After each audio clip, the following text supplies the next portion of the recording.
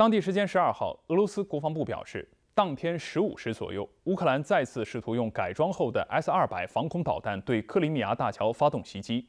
俄罗斯防空系统发现了无防导弹，并在空中将其击落，没有造成人员伤亡或财产损失。对此，乌克兰方面暂无回应。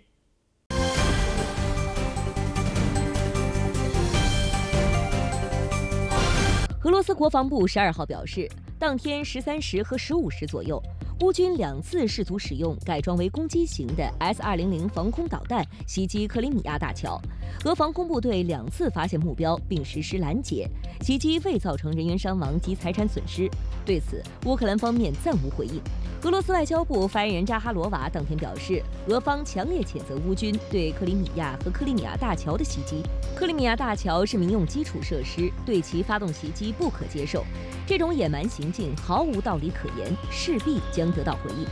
另据俄罗斯国防部的消息，十二号凌晨，乌军出动二十架无人机试图袭击克里米亚，其中十四架被俄防空系统摧毁，六架被俄电子战系统压制。当地时间十三号，俄罗斯国防部表示。俄防空系统当天凌晨在比尔哥罗德州上空发现并摧毁了一架无人机，没有造成人员伤亡或设施损毁。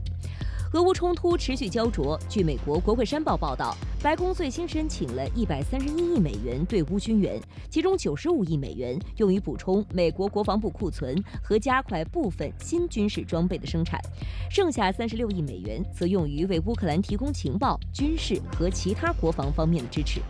此外，拜登政府还向国会申请为美国国务院和美国国际开发署提供85亿美元，用于向乌克兰提供经济和安全等方面的支持。国会山报分析称，伴随俄乌冲突持续，部分国会议员已对美国不断向乌克兰提供军事支持提出质疑。俄罗斯驻美大使安东诺夫表示，拜登政府对乌克兰的军事支持是以损害本国民众的利益为代价。虽然美西方不断升级对乌克兰的军事支持，但实际效果并不理想。美国通过不断延长俄乌冲突来削弱俄罗斯的企图，将注定失败。另据今日俄罗斯电视台报道，美国国家安全委员会战略沟通协调员约翰·科比日前在接受美国有线电视新闻网采访时称，基辅政权发动的反攻没有取得乌克兰人先前期望的成功。科比说，甚至乌克兰人自己，包括泽连斯基总统在内，都说他们推进的不如希望的那么快。